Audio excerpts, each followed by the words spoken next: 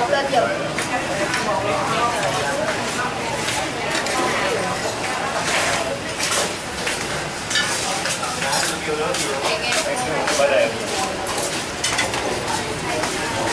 có liên cái đề số 1 nhắc lại nữa nè.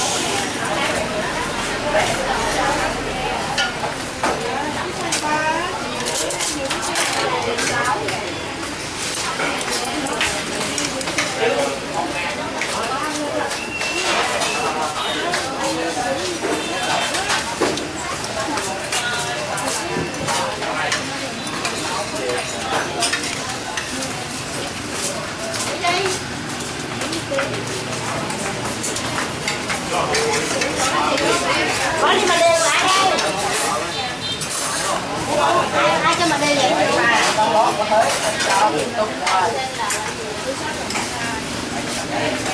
có cho mà đi không vậy? Nha không